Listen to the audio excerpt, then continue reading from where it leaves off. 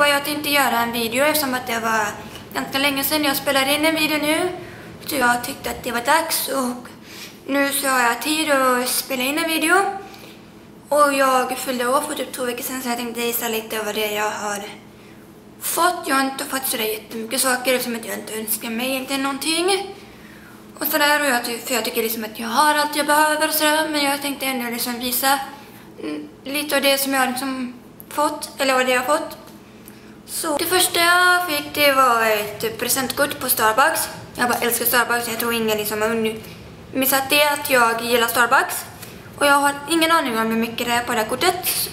Så det blir spännande att se hur mycket som är på det här kortet. Och sen så fick jag ett armband ifrån eh, Pandora som ser ut så här.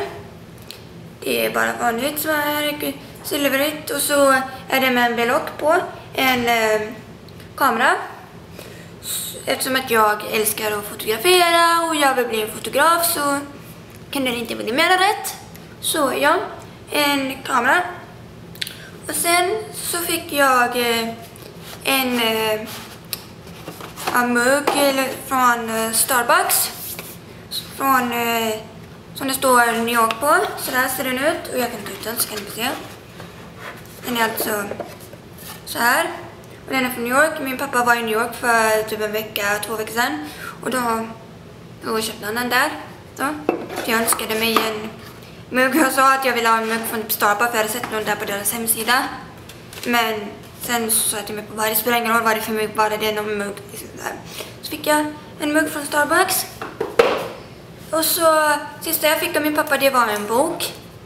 Han har frågat mig flera gånger liksom, vad jag vill ha i födelsedag och sådär. Jag säger jag vill inte ha något för jag tycker jag liksom har allt som jag liksom behöver. Men så jag bara, ja men visst en bok för jag tycker att jag borde läsa lite mer böcker. Och då föreslog jag en författare som jag har hört gör väldigt bra böcker och skriver väldigt bra. Och jag har läst en bok av honom så jag, ja så jag fick ju en bok. Ja. Så det var allt jag fick av min pappa. Sen så har jag köpt lite små födelsedagspresenter till mig själv. Och det första jag köpte, jag köpte är den här eh, showergelen ifrån Bath Body Works. Den doftar eller luktar eh, marshmallow kiss och den luktar otroligt gott.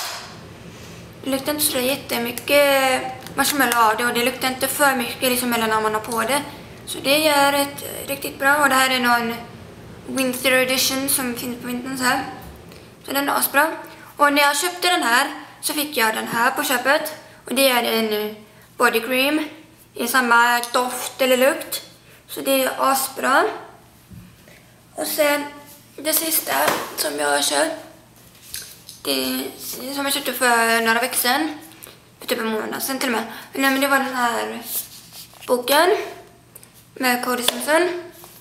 Jag har börjat lyssna på honom en hel del så jag lyssnade på honom för några år sedan. Och jag tycker att han gör väldigt bra. Sen så, åh oh jävlar, det, ja, ja det var allt jag eh, har fått och till mig själv. Jag hoppas att ni tyckte om videon så hörs vi och ses vi någon annan. Ha det bra, hej!